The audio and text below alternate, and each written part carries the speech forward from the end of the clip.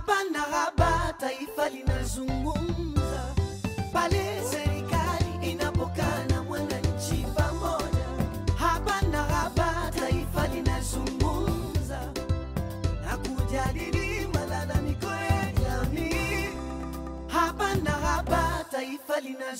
Hii ni makala ya Haba na Haba kutoka idhaa ya Kiswahili ya BBC. Msikilizaji, karibu sana. Makala hii inajadili dhana utawala bora nchini Tanzania kwa kuileta mifano halisi ya maisha, changamoto na mafanikio. Na hoja leo, Yusuf, ni ipi? Miundombinu iliyopo inatosha kutimiza lengo la kuanzisha viwanda 100 kila mkoa nchini Tanzania? Tunaangazia viwanda, si ndio? Kabisa. Na tuwakaribishe basi hapa washirika wetu kutuletea makala ya Haba na Haba kwa leo, ambaye ni Mohamed Makonda pamoja na Aurelia Gabriel. Karibu, ungane nao. Haba na haba, taifa linazungumza. Serikali ya Tanzania ipo katika utekelezwaji wa kauli mbiu ya Tanzania ya viwanda inayochagizwa na rais wa nchi hiyo Mheshimiwa John Magufuli, huku lengo likiwa kuanzisha viwanda 100 kila mkoa hadi ifikapo Disemba 31 mwaka huu. Hiyo ndiyo sababu haba na haba leo tuna hoji ili Tanzania ije kuwa na takribani viwanda elfu mbili na mia sita ifikapo mwishoni mwa mwaka huu, miundombinu iliyopo inatosha? Msikilizaji, kabla ya kuzama kwa undani katika hoja yetu leo, ili wote tuwe katika ukurasa mmoja, inawezekana kumekuwa na uelewa wenye kutofautiana kuhusu maana halisi ya kiwanda au viwanda miongoni mwa jamii. Kiwanda ni sehemu ambayo malighafi inachakatwa na kuweza kutengenezwa kwa bidhaa ambayo inaongezewa thamani yake ili kupata bidhaa ambayo itauzwa na kuleta uh, kumletea faida yule mzalishaji. Ni Profesa Mkumbukwa Mtambo, mkurugenzi wa taasisi ya utafiti na maendeleo Tanzania, ambaye utamsikia tena baadaye katika makala hii. Haba na Haba inatoa fursa pia kwako msikilizaji uweze kushiriki kwenye makala hii kwa kutuma ujumbe wako kupitia 0785 236938 na katika akaunti yetu ya Facebook BBC Haba na Haba, Instagram na Twitter utatupata kwa anwani ya BBC underscore Haba na Haba. Haba na haba, taifa linazungumza.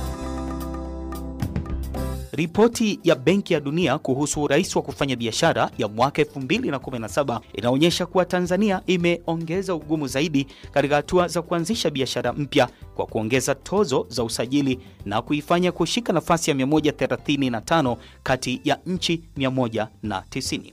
Na hapa Profesa Mkumbukwa Mtambo ambaye ni mkurugenzi wa taasisi ya utafiti na maendeleo Tanzania TILDO inayofanya tafiti za masuala ya viwanda kwa miaka mingi, akitueleza kwa namna gani miundombinu inavyoweza kuzorotesha au kusukuma kasi ya uanzishwaji wa viwanda nchini, kama alivyozungumza na mwenzetu Mary Goreti Richard. Sasa serikali imeingia kwenye sera sasa ya kwamba eh, watu binafsi huweze waweze kuendesha viwanda na serikali iweze tu kutengeneza kutoa tu miundombinu wezeshi ili viwanda vyetu viweze kushamiri. Kwa hiyo serikali kazi yake kubwa sasa hivi ni kuweka mazingira wezeshi, eh, mazingira ya, ya miundombinu, umeme, masuala ya barabara, uh, maji masuala ya tehama ili wale wanaanzisha viwanda waweze kuanzisha eh, viwanda. Kwa hiyo kwa maana kwamba sasa hivi sekta binafsi inapewa nafasi kubwa sana eh, kwenye kuendesha uchumi wa viwanda. Ukibaki okay, hapo kwenye mazingira wezeshi, kwa nini tunahitaji kuwa na vivutio kwa wawekezaji ili kuanzisha viwanda nchini Tanzania? Bila kuwa na vivutio, kwanza, kwanza kabisa kuanzisha kiwanda ni gharama. Kwa hiyo mtu anapoanzisha kiwanda, kwanza anachotaka aje kupata faida. Sasa kama hakuna vivutio ambavyo vitamwonyesha kwamba katika kuanzishaji kwake vile viwanda atakuwa na mafanikio na kuweza kupata mazingira ambayo rahisi ya, uh, kwa gharama nafuu ya uanzishaji wa viwanda, lakini vilevile kuweza kupata masoko ya rahisi, sio rahisi kupata wawekezaji kwenye kwenye viwanda. Kwa hiyo tunahitaji kuwa na vivutio ili wawekezaji waweze kupunguziwa eh, gharama zile za uh, uzalishaji, lakini vivyo wao kwenye mazingira mazuri ambayo yatafanya wao waweze kutumia fedha zao au rasilimali zao kuweza kuanzisha viwanda nchini. Ni kwa namna gani vinahamasisha wawekezaji kuwekeza katika viwanda hapa nchini? Kwanza kabisa tuna soko e, mwekezaji wetu kwanza kwenye kiwanda ataangalia, je, tatengeneza bidhaa, soko lipo, soko lipo na uh, idadi population, idadi ya watu wa Tanzania ni, ni, ni, ni kubwa. Hiyo peke yake ni, ni, ni, ni kivutio, lakini wawekezaji wengi wangependa kupata miundombinu ya uwezeshi mahali ambapo wanaenda basi kuna barabara kuna reli e, wanaweza ku- ku- kufika pale kwa ndege kirahisi, na tunaona juhudi za serikali ambazo zimefanya kuweza kuweka yote hayo. Naona sasa hivi kunakuwa na standard gauge railways, tuna, tuna barabara mabarabara yana- yana- yanaboreshwa, tumenunua ndege. Maswala nishati ni muhimu, ambayo sio tu e, upatikanaji wake, lakini vilevile gharama yake iwe nafuu. mm-hmm. lakini sasa hivi tumeona nishati kidogo haiko sawia kuna umeme kukatika mara kwa mara wenye viwanda wakilalamika kwamba wanashindwa ku, ku, ku, kutengeneza bidhaa kwa wakati ikitokea changamoto kama hii nyinyi kama wataalamu mnaichukuliaje E, ni, ni changamoto. Mwenye kiwanda yoyote ule asingependa e, umeme ukatike, kwa sababu unapokatika umeme, kama kulikuwa na process pale katikati pale, basi line yote ya, ya production inakuwa ni hasara. Lakini tuangalie vile vile kwamba umeme unakatika kwa sababu gani, kwa sababu sasa hivi kuna uboreshaji mkubwa wa miundombinu ya umeme. Kwa hiyo rama tukubali, kutakuwa na matatizo ya muda, lakini yote kwa lengo zuri kabisa ya kuweza kuhakikisha kwamba kunakuwa na umeme wa uhakika. Ni Profesa Mkumbukwa Madundo Mtambo, mkurugenzi wa taasisi ya utafiti na maendeleo ya viwanda nchini TIRDO. Aurelia, umemsikia vyema mkurugenzi. Kati ya sababu kadhaa alizotaja, pia kutokuwa na vivutio vya kutosha au mazingira mazuri inatajwa kwa moja ya sababu ya kushindwa kuanzishwa kwa viwanda na hata vilivyoanzishwa kushindwa kuendelea kwa ufanisi na hatimaye kufa. Ndiyo, nimemsikia kwa uzuri kabisa, na kuna mfano hapa kutoka mkoani Manyara ambako mwandishi wetu Faraja Samu ametembelea moja ya kiwanda kilichokumbana na changamoto za miundombinu na hatimaye kiwanda hicho kufungwa. Ndivyo ninavyoanza safari kutoka hapa wilayani Mbulu hadi Terat iliyopo wilayani Simanjiro mkoani Manyara, na ikikadiriwa ni mwendo wa zaidi ya kilomita 240 nikitumia uh, usafiri wa gari. Na hapa ni Terat. Moja kwa moja naingia nyumbani kwa mama Scholastica Robert, mkazi wa kata hii ya Terat, ambaye naelezwa aliwahi kufanya kazi kwenye kiwanda cha maziwa kinachomilikiwa na taasisi ya Ilaramata Lorcone kwa kipindi cha takriban miaka uh, mitano. Kwa kweli nilipokuwa nafanya kazi katika kiwanda cha maziwa nilijikwamua na kujiinua kiuchumi. Niliweza kufanya shughuli zangu za kifamilia, kuwasomesha watoto. Niliweza kujiendeleza kwa mambo mengi ya maisha ambaye nilikuwa chini, lakini nilipokuwa nafanya kazi kiwandani, kipato nilichokuwa napata kimeniinua. Na sasa ni kwa namna gani umeathirika kutokana na uh, kufungwa kwa kiwanda hiki hasa katika maisha yako ya, ya kawaida? Kimeniathiri kwa sababu kwanza, pale kiwandani kulikuwa ni soko la uhakika la maziwa. Hata kupeleka watoto shule kumenishinda, hata kufanya shughuli zingine za kimaendeleo kumenirudisha nyuma sana. Unajishughulisha na shughuli gani sasa hivi? Nilikuwa najishughulisha na swala la kilimo, japo mvua ni za kusuasua. Unafikiri ni nini kifanyike ili kurejesha uh, hali iliyokuwepo awali? Kwa kweli ningependa kama rais wetu Magufuli anavyoliunga swala la viwanda mkono, kwamba viwanda viwepo au vifufuliwe vile vilivyokuwepo. Ni jambo la muhimu kama tungetambuliwa na sisi kuja kusaidiwa katika kufufua hivi viwanda viweze kufanya kazi na kutuletea maendeleo. Kwa hiyo ninajua kama serikali ingeingilia jambo hili na kutusaidia, najua tungejikwamua. Nachukua hatua chache hadi nyumbani kwa Martin Karionge, mmiliki wa eh, kiwanda hiki, lakini naelezwa pia ni mmiliki wa viwanda vingine vinne ndani ya mkoa wa Manyara. Na kubwa hapa, nataka kujua nini hasa sababu ya kiwanda hiki kusimama. Kilicholeta ugumu ni swala zima la umeme. Tulipoanzisha viwanda hivi, umeme haupo, ni maeneo ya vijijini. Kwa hiyo ilibidi tuanze kwa kutumia jenereta za kuzalisha umeme, kwa sababu zile jenereta zina zinakula mafuta mengi. Na- lakini pia serikali haikuweka mkono wa kutosha kutuwezesha sasa kuweka mazingira mazingira mazuri ya kuwezesha e, sisi kuendelea katika hatua mbalimbali mbali za ku, kujenga uwezo wa kuendesha vile viwanda bila eh, nguvu ya pesa kutoka kwa wafadhili. Uh, nini mchango wa serikali sasa katika kutengeneza mazingira ya vivutio hasa katika uh, sekta hii ya, ya viwanda? Eh, ni ku, ku, kuleta nishati ya umeme. Nishati eh, ukitaka kuendesha kuanzisha na kuendesha viwanda vya aina yoyote ile, nishati ya umeme ni lazima, na pili kuweka mazingira rahisi kwanza ya, ya, ya, ya, ya, ya, ya kuondoa kodi kwa uingizaji wa mashine zile na pia kodi mbalimbali mbali, kwa sababu unakuta sasa hivi TRA inakuja na kodi nyingi ambazo yani zinakuwa mzigo kwa wale wanaoanzisha viwanda kubeba.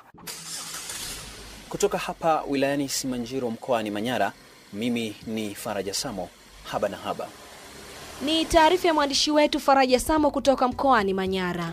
Aurelia, baada ya kusikiliza taarifa hiyo, ni kukumbushe tu kuwa hivi karibuni waziri wa nchi ofisi ya Rais TAMISEMI Suleimani Jafo alikutana na wakuu wa mikoa yote ya Tanzania kujadili juu ya uanzishwaji wa viwanda, ambapo amesema mpaka sasa ni takribani viwanda 1285 vimekwisha anzishwa kati ya viwanda 2600 vinavyotakiwa kuanzishwa nchi nzima hadi ifikapo Disemba 31 mwaka huu. Nilizungumza wakati nikiwaagiza wakuu wa mikoa waende katika mikoa yao wakahamasishe ujenzi wa viwanda mia moja vidogo na vya kati katika mikoa yao, na nilikuwa nasema hivyo, nina target kwa sababu ninajua mimi kupitia mfuko wangu wa on source peke yake nina bilioni 31 huko katika halmashauri zao, ambao bilioni bilioni 61 ambao bilioni 61 hata isipotoka yote, ikitoka nusu yake bilioni 30, wakienda kutengeneza viwanda vyenye thamani ya shilingi milioni 10 milioni 10, una maana una viwanda elfu tatu ambao target ya mikoa 26 ni viwanda 2600. Tume outstand expectation.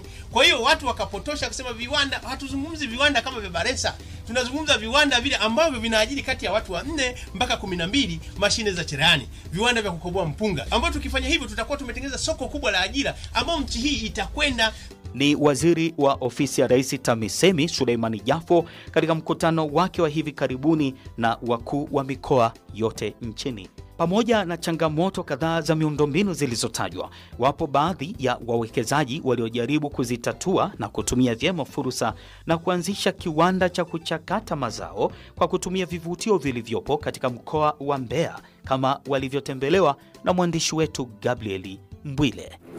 Msikilizaji, nipo katika eneo hili la viwanda vidogo vidogo SIDO. Nimetembelea viwanda vya kuongeza thamani ya zao la alizeti, na hapa ninaye Furaha Mwakitalima, ni mmoja kati ya wamiliki wa viwanda hivi, Nalazimika kukutana naye ili kufahamu nini kilichomshawishi kuamua kuanzisha kiwanda hiki. Watu wa Mbeya ni watu ambao wanapenda kula mafuta. Baada ya kuona watu wanahitaji mafuta zaidi, mengi yanatoka viwanda vya nje ya mkoa wa Mbeya, na mimi nikashawishika kufunga kiwanda hiki kidogo ambacho ni mashine ndogo za Kichina.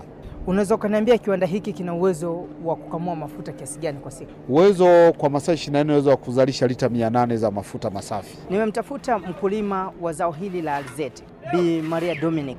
Kutoka kwake anahitaji kufahamu uwepo wa viwanda hivi vidogo vidogo umewasaidiaje katika shughuli zao. unatusaidia katika urahisishaji wa kazi. Kazi inakuwa nyepesi ukilinganisha na zamani. Enzi hizo watu walikuwa wanatafuta mafuta kwa kusindika kwa mikono na kuchemsha na kuingua mafuta, prosesi ambayo ilikuwa ni ndefu sana kiasi kwamba mpaka kuja kuyapata mafuta hata hiyo lita tano unatumia zaidi ya masaa hata 24 kupata lita tano. Namgeukia Krista Alfred, yeye ni mlanguzi wa zao hili la alizeti. Kutoka kwake anahitaji kufahamu uwepo wa viwanda hivi vidogo vidogo vya kukamua alizeti unamsaidia vipi katika shughuli zake. Nimekuwa nikipata fedha ambayo inakuwa inanisaidia kwa ajili ya chakula, si chakula tu, lakini pia naweza kulipa ada kwa ajili ya kusomesha watoto wangu.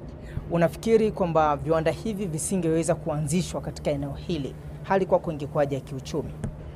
Kwangu hali ingekuwa ni mbaya, si kwangu tu mimi kama mwanamke mjasiriamali, lakini hata kwa vijana, kwa sababu viwanda hivi vimeweza kutoa kazi kwa watu wote katika jamii, si vijana, si wanawake.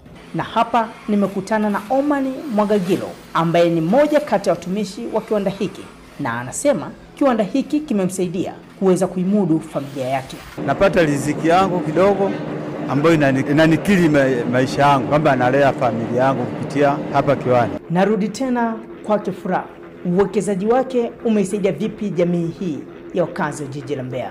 Kwanza imesaidia vijana wengi kupata ajira. Mi mwenyewe kiwandani kwangu na vijana watatu ambao na mkataba wa muda mrefu, alafu kuna watu ambao wanafanya kazi mfano kama ya kuanika, ambao kwa siku hawapungui vijana saba kwenye kiwanda changu, kuanika na kuanua, ambao ni kazi tu permanent, yani ma labor week ambao anakuja anafanya kazi na kutoka.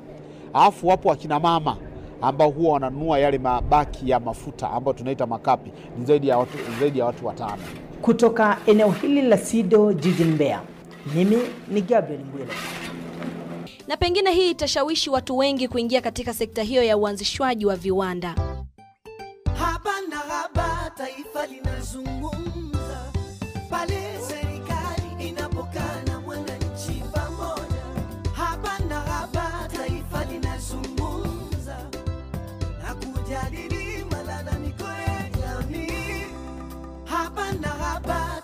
Linazungumza Unaendelea kusikiliza Haba na Haba ya idhaa ya Kiswahili ya BBC. Hoja ya leo, miundombinu iliyopo inatosha kutimiza lengo la uanzishwaji wa viwanda mia moja kila mkoa nchini? Hatupeleki umeme wa kuzima koroboi, tunapeleka umeme kwa ajili ya kutengeneza viwanda. Tunasambaza nishati, hatusambazi umeme. Kwa hiyo umeme umefika kwenye vijiji vilivyo vingi. Huyo ni waziri wa viwanda, biashara na uwekezaji wa Tanzania, Chazi Mwijage, ambayo utamsikia hapo baadaye.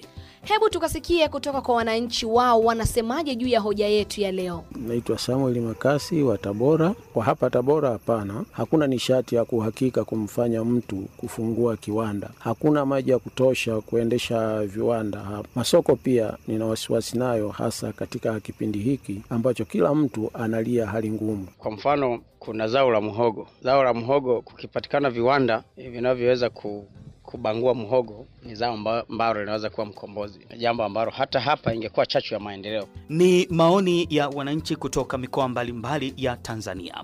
Tugeukie sasa katika kurasa zetu za mitandao ya kijamii ambako huko tumeuliza umekumbana na changamoto gani ya miundombinu iliyokukwamisha kuanzisha kiwanda? Huya hapa Benigna Franci akitusomea ujumbe wako. Asante sana. Nianze na ujumbe wake Ishengo Makasenene, huyu ni kutoka Kawe, Dar es Salaam nchini Tanzania.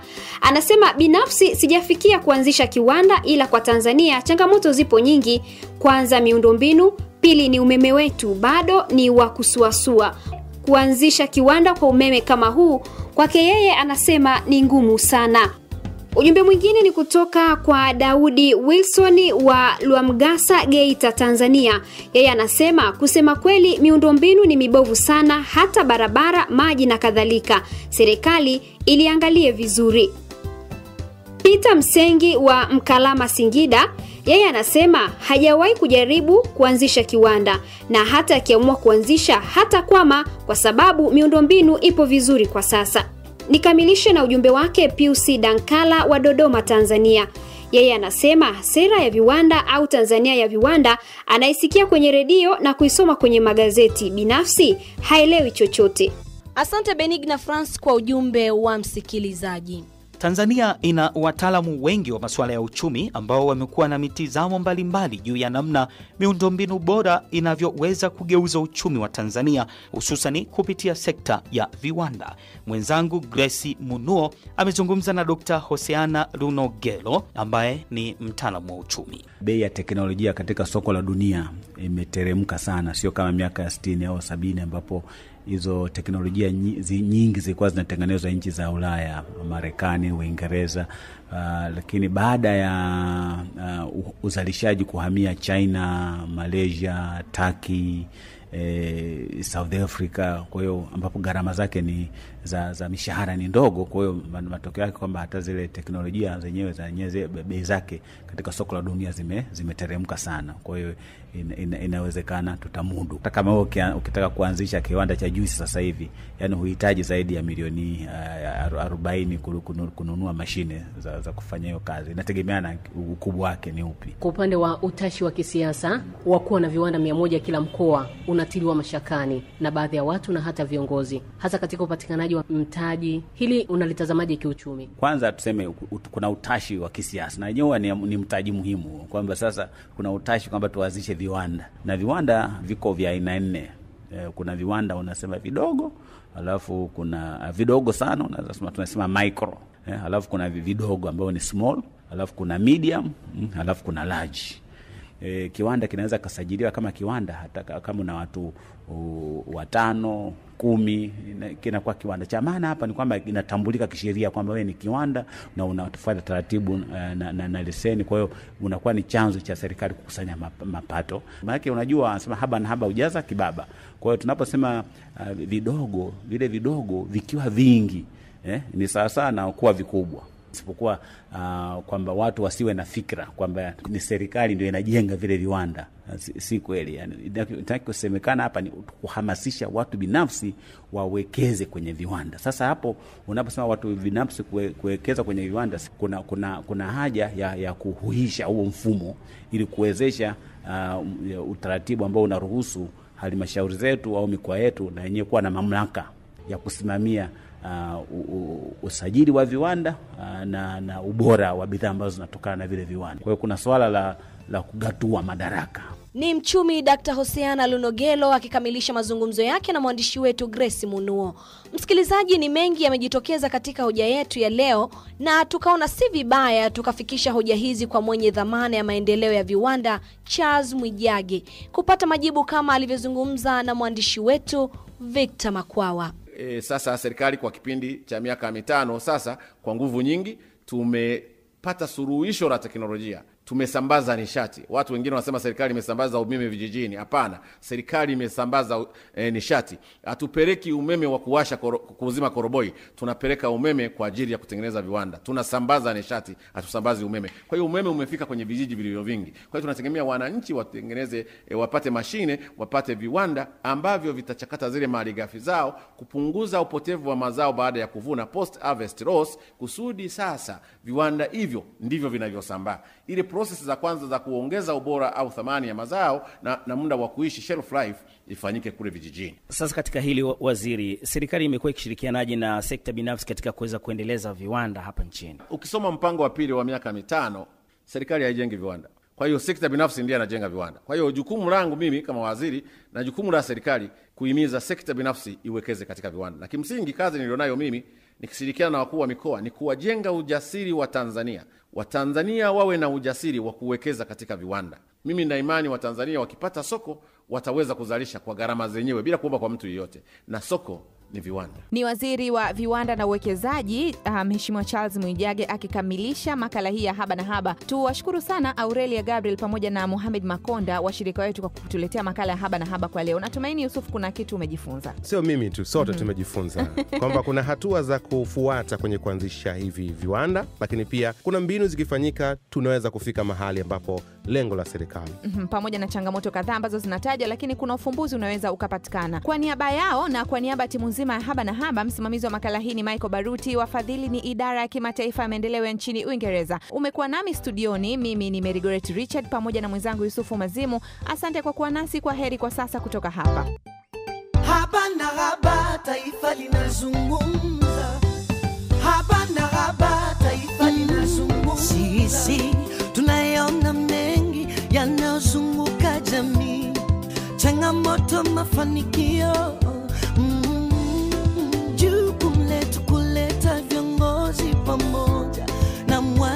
Mwananchi kujadili hoja. Ah, huku viongozi wenye dhamana wakipata nafasi.